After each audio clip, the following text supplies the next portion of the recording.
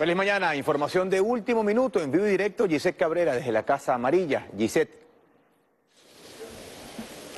Así es, Barry, nosotros hacemos este contacto desde la Casa Amarilla en el casco histórico de la ciudad capital, donde el canciller de la República Bolivariana de Venezuela, Jorge Arreaza, ofrece importantes declaraciones. Muchas gracias. Muy buenos días. 5 de abril, son las 11, 24 minutos. Permítanme retirarme el tapabocas temporalmente. Quiero compartir, queremos compartir con el país esta misiva desde el corazón del presidente Nicolás Maduro que envía al pueblo de los Estados Unidos de América, a nuestras hermanas, hermanos, trabajadores de los Estados Unidos de América, estudiantes, artistas, cultores. La tenemos, por supuesto, en inglés, To the People of the United States of America.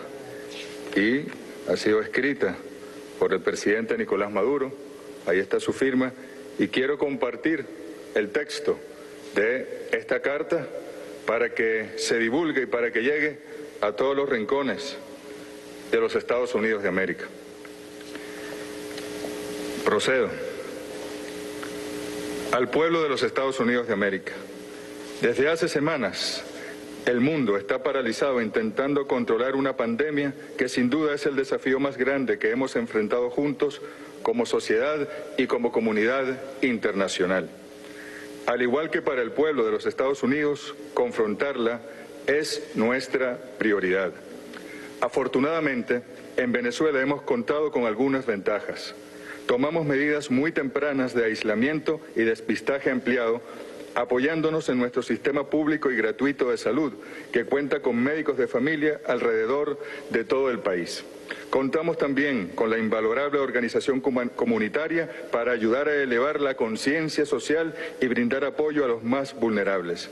Igualmente, la solidaridad de Cuba, China, Rusia y el apoyo de la Organización Mundial de la Salud nos ha permitido obtener insumos médicos necesarios a pesar de las sanciones ilegales de Donald Trump.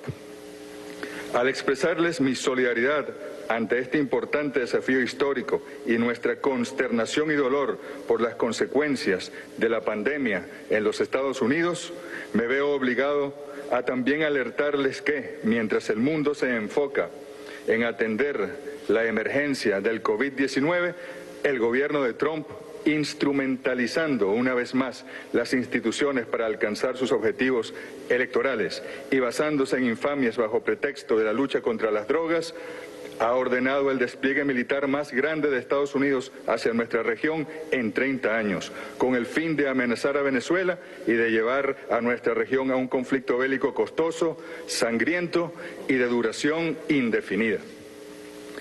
Como antecedente a esta maniobra falaz, el pasado 26 de marzo, William Barr, un fiscal de cuestionable independencia, quien recomendó la invasión de 1989 a Panamá contra Noriega y ayudó a encubrir las irregularidades del escándalo Irán contra, presentó, sin mostrar prueba alguna, acusaciones de narcotráfico de los Estados Unidos contra mí y contra altos funcionarios del Estado venezolano, a pesar de que la información del propio Departamento de Defensa demuestra que Venezuela no es un país de tránsito primario de drogas hacia los Estados Unidos, como sí lo son países aliados de Washington como Colombia o como Honduras.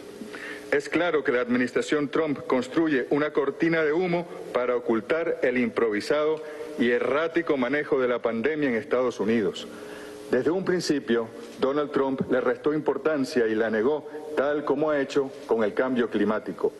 Hoy la crisis se agrava simplemente porque, pese a contar con recursos, no está dispuesto a transformar el sistema de salud en uno que priorice el cuidado pleno de la población y no el lucro de ganancias de la medicina privada, las compañías de seguro y las farmacéuticas. Nosotros en Venezuela no queremos un conflicto armado en nuestra región, queremos relaciones fraternales, de cooperación, de intercambio y de respeto. No podemos aceptar amenazas bélicas ni bloqueos, ni tampoco la intención de instalar un tutelaje internacional que viola nuestra soberanía y desconoce los avances del último año en el diálogo político sincero entre el gobierno y gran parte de la oposición venezolana que desea soluciones políticas y no guerras por petróleo. Por todo lo anterior, hago un llamado al pueblo de los Estados Unidos para que ponga freno a esta locura, para que responsabilice a sus gobernantes y los obligue a enfocar su atención y sus recursos en la atención urgente de la pandemia. Pido, junto al cese de las amenazas militares, el fin de las sanciones ilegales y el bloqueo que restringe el acceso a insumos humanitarios tan necesarios hoy en mi país. Les pido, con el corazón en la mano, que no permitan que su país se vea arrastrado una vez más a otro conflicto interminable, otro Vietnam u otro Irak, pero esta vez más cerca de casa. No somos tan diferentes como nos quieren hacer creer con infamias. Somos pueblos buscando una sociedad más justa, libre y compasiva. No dejemos que intereses particulares de minorías cegadas por ambición nos separen. Nosotros, como dijo una vez nuestro líder Hugo Chávez, compartimos el mismo sueño. El sueño de Martin Luther King es también el sueño de Venezuela y de su gobierno revolucionario. Los invito a luchar juntos por hacer realidad ese sueño. No a la guerra de Estados Unidos contra Venezuela. No más sanciones criminales. Queremos paz.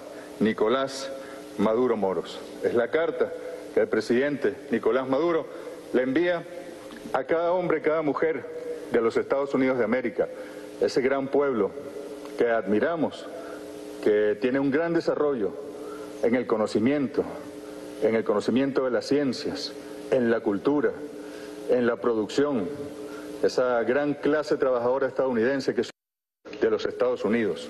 No a otra guerra, no más sanciones, no a que se pierdan vidas de gente inocente, de soldados, de latinos, de afroestadounidenses en Sudamérica.